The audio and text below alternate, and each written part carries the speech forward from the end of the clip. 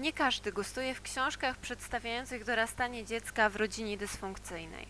A przecież problem jest tak oczywisty i bliski ogromnej liczbie osób w naszym kraju. Powieści takie jak Gnój Wojciecha Kuczoka dzielą czytelników i krytyków na dwie grupy. Tych, którzy doceniają prostą treść, ukazującą bolesną prawdę o tym, co dzieje się w wielu polskich domach, oraz tych, którzy twierdzą, że tego typu książki są jedynie nad wyraz przesadzoną metaforą. Jeżeli biorąc do ręki powieść Gnój spodziewamy się wartkiej i zaskakującej fabuły, to lepiej od razu odłóżmy książkę na półkę, bo w żadnym wypadku nie jest to książka akcji. Właśnie takie książki kocham, które na pozór prostym przesłaniem zachęcają tych, którzy faktycznie potrafią docenić ten rodzaj sztuki, a tych, którym jest to obojętne, po prostu odpychają. Dorastający chłopiec, który w rodzinnym domu powinien znaleźć ostoję spokoju i wzór do naśladowania. Otrzymuje jedynie krzyk, wieczne awantury, pijanego ojca i przemoc, nie tylko fizyczną, ale przede wszystkim psychiczną, która wyrządza krzywdy, nie mające zagoić się już nigdy.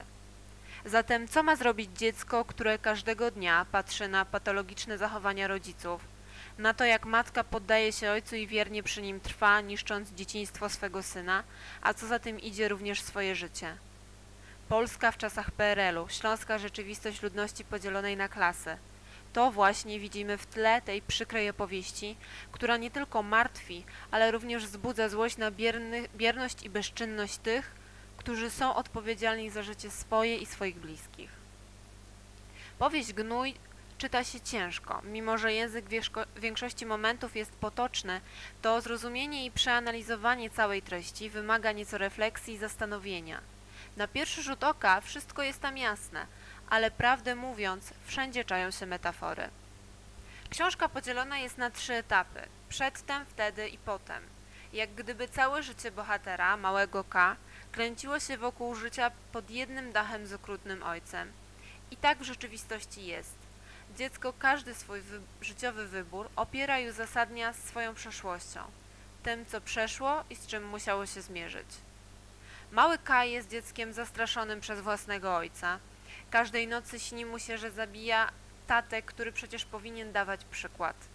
To dobre dziecko, które wstydzi się swoich myśli, pragnień, a przecież chciałoby tylko normalnie żyć. Przez to, że ciągle jest katowany, cierpi jego zdrowie i fizyczne, i psychiczne. Nikt nie reaguje. Jedni udają, że nic nie widzą, inni uważają, że to zupełnie normalne, by wychowywać dziecko twardą ręką. Jednak należałoby odróżnić wychowanie od znęcania się.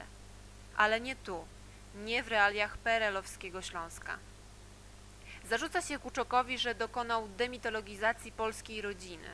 Ale czyż nie jest to krok naprzód, by ujawnić, że problem istnieje i należy go zwalczać, a nie zamiatać pod dywan? Polecam powieść Gnój, szczególnie do przeczytania w momencie, gdy faktycznie będziemy mieli czas i ochotę na przemyślenia.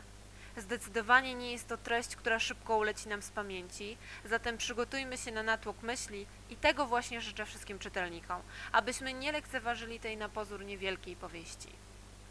Dodam jeszcze, że książka wyszła w 2003 roku i została przełożona na 15 języków. W 2008 roku na podstawie wybranych wątków powstał film Pręgi w reżyserii Magdaleny Piekosz. Jeżeli ktoś jest zainteresowany taką tematyką, polecam również powieść Rzęsy na opak autorstwa Dawida Kornaki. Wiem, że ciężko tę książkę dostać, ale może komuś uda się ją zdobyć i zapoznać z jej treścią.